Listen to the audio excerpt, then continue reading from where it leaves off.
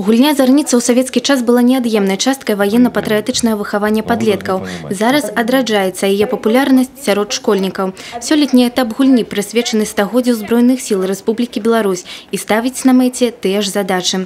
Арганізатары зарніцы гарадскі камітэт БРСМ разам з 38-м камандаваннем мабільна-дэсантна-штурмовой бригады. Самое главное то, что это детям очень нравится, они хотят, это действительно э, особенно парни, они же хотят стать настоящими мужчинами в этом юношеском возрасте.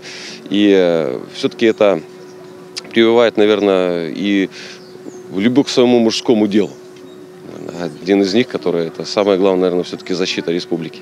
Ежегодно мы проводим военно-спортивную игру «Зорница» для того, чтобы ребята воспитали в себе лучшие качества, окрепли физически, воспитали в себе дух победителей и дух товарищества. Ведь их маленькие и большие победы лягут в будущее нашей Республики Беларусь. У гарадскім этапе конкурсу ўзялі ўдзел толькі сем каманд. Як адзначаюць арганізатары, толькі тыя, хто сам жадаў.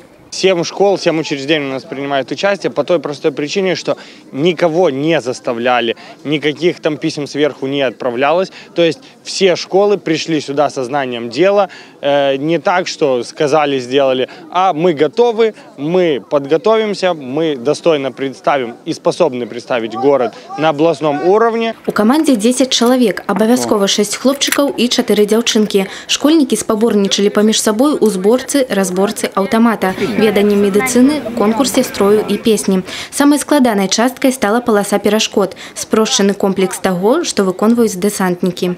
Зорница воспитывает в себе сплоченность команды, дисциплину и силу воли. Эстафета, мы в ней лучшие в спорте. Наша команда настроена положительно, и мы пришли сюда за победой. Ну, моя команда, конечно, на победу настроена, но главное это участие, конечно. Пераможцай конкурсу стала школа нумар 10. Каманда пакажа свае магчымасці на абласным этапе гульні Зарніца 2018, які пройдзе 22-23 мая ў Брэсце.